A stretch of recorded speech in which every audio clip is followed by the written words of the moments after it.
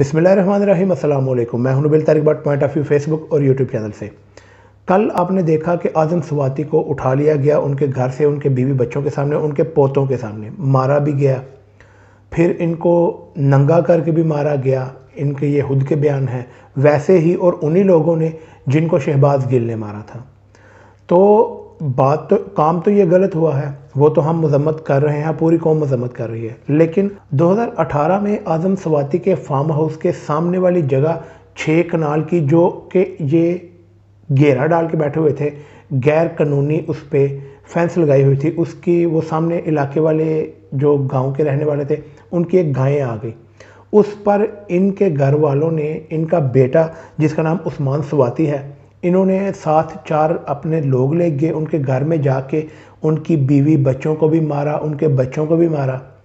मसल्ला अफराद साथ गन्स वगैरह लेके गए थे। उनके घर में ये फायरिंग की गोलियों के निशानात भी थे। तो पहले ये आप वीडियो उनका मौकफ सुन लेंगे, वो क्या कहते हैं? बंदों ने मेरे घर के ऊपर हमला किया।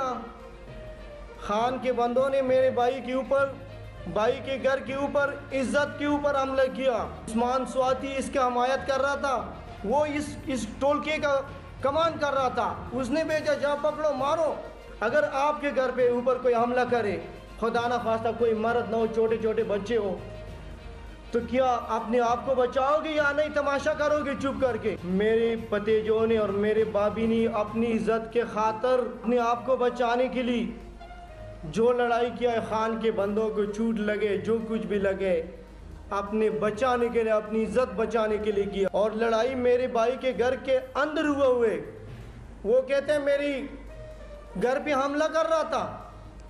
किस वजह से हमला कर रहा था? लड़ाई तो मेरे भाई के घर के अंदर सहन भी हो रही है।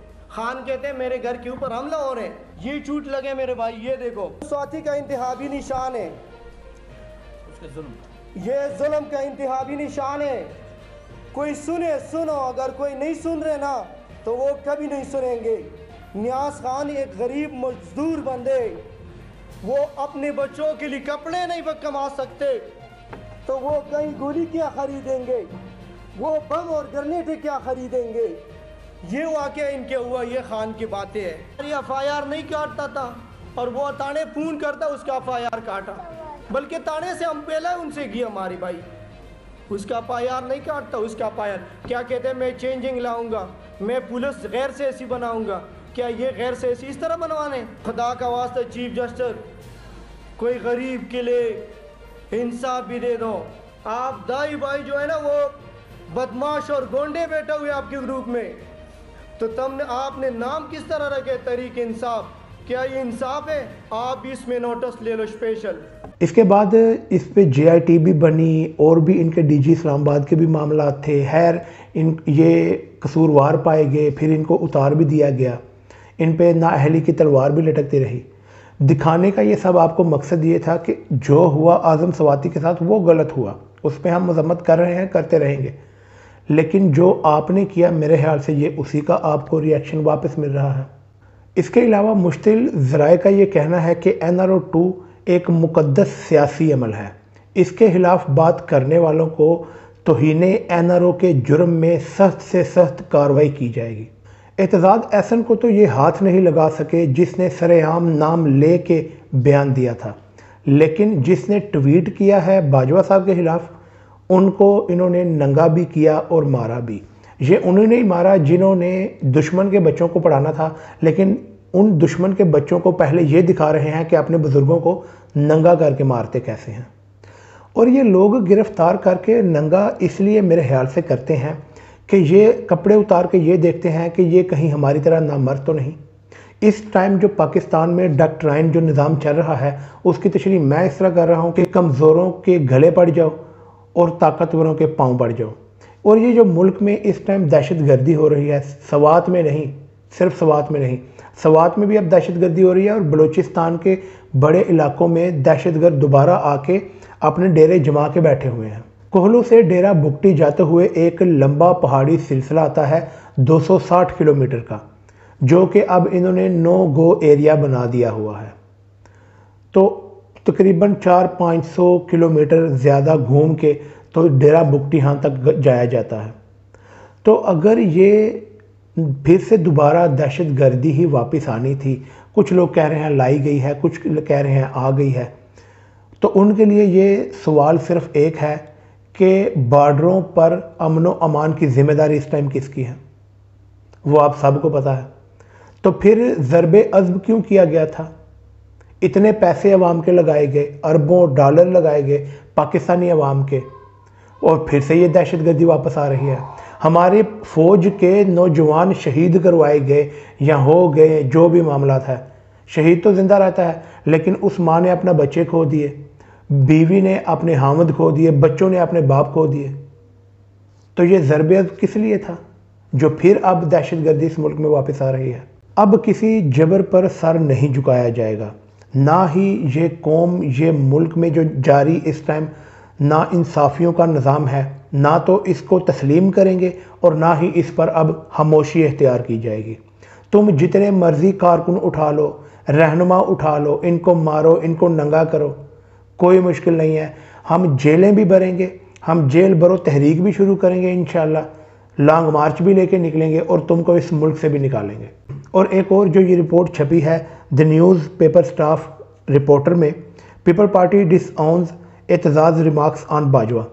ये कहना चाह रहे हैं कि पीपल पार्टी, जो मैंने पिछली वीडियो में भी बताया था कि ये इनका बोलने का मकसद, फिर हम ये समझें कि ये बिलावल और जरदारी का बयानिया है तो उन्होंने इसको डिसऑन कर दिया है। वो ये कहना चाहते हैं कि हम इससे ला ताल्लुकी का इजहार करते हैं इस बयान से।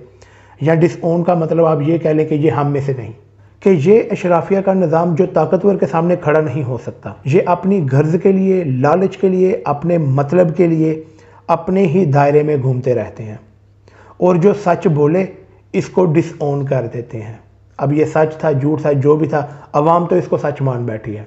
इसके अलावा एक और रिपोर्ट जो कौमी असम्बली में इस्लामाबाद इंटरनेशनल एयरपोर्ट को बेनज़ीर इंटरनेशनल एयरपोर्ट तस्लीम करने में करारदाद मुतफ़ा तौर पर मंजूर कर ली गई है। तो सारे पाकिस्तान को मुबारक हो कि इस्लामाबाद एयरपोर्ट अब बेनज़ीर एयरपोर्ट के नाम से जाना जाएगा। तुम्हारे बाप का एयरपोर्ट है ना, सब चीज़ों को अपना नाम दे दो। इसके अलावा अता तारड ने जो पार्लियामेंट में आइन को उंगली दिखाई थी, मिडिल फिंगर या जो भी थी तो अब ये हमारे वज़ी ख़जाना इसहाक डार अमेरिका में अवाम को मिडिल फिंगर दिखा रहे हैं। उनको, उन्होंने अता तारड़ ने आइन को मिडिल फिंगर दिखाई थी। इन्होंने अवाम को दिखा दी। और ये जो कुत्ता आगे भोंक रहा है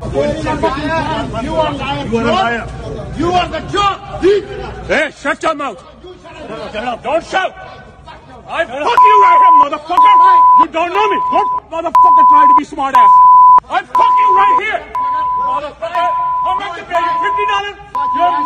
यही हम कह रहे हैं कि जब आप लोगों की इस पाकिस्तान की माँ बहन करेंगे तो फिर लोग भी आपकी माँ बहन करेंगे और आपको चोर चोर ही कहेंगे खैर, इसके अलावा पीडीएम डर गई जे। वो डर ऐसे गई है कि सुप्रीम कोर्ट इमरान खान की जानब से एहतजाज और लॉन्ग मार्च का मामला, वफाकी हुकूमत ने इमरान खान के खिलाफ तोहन अदालत की दराज दायर कर ली है। वही जब कंट्रोल नहीं हो सके तो तोहन अदालत कर दी है। ये तोहन हो गई है। आप क्यों सारे जलसों में जा जा के लॉन्ग मार्च के ऐलान कर रहे हैं? तो लॉन्ग मार्च पहली बात तो लॉन्ग मार्च एक जमहूरी अमल है। अवाम का हक है, वो तो हम करेंगे। और यहाँ पर ये मैं बताता चलूँ कि नॉन लीग और पीपल पार्टी कंपनियों के सियासी विंग हैं। ये सिर्फ़ फ्रंट मैन है। पीछे बैठ के गेमें और कोई चलाता है।